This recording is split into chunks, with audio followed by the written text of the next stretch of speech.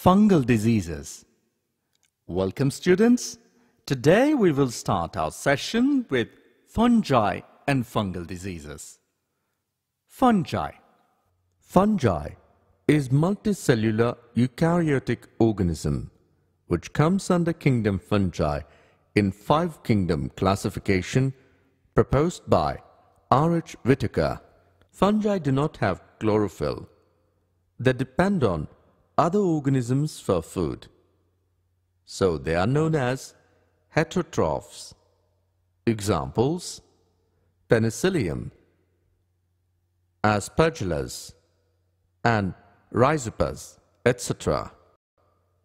It causes more number of diseases, especially skin disease. One of the important disease is ringworm. Ringworm. It is also called as dermatophytosis as skin is the primary affected organ. It affects all types of animals like dogs, cows and humans. It is caused by fungi.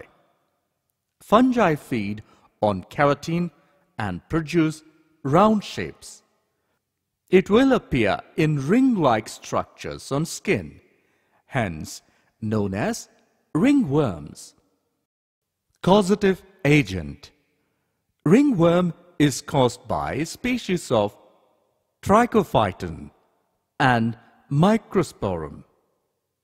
Source for this disease Warm areas such as locker rooms, towels, skin folds. Transmission through animals like rats and flies, through untreated clothes, through sports equipments, through affected pets.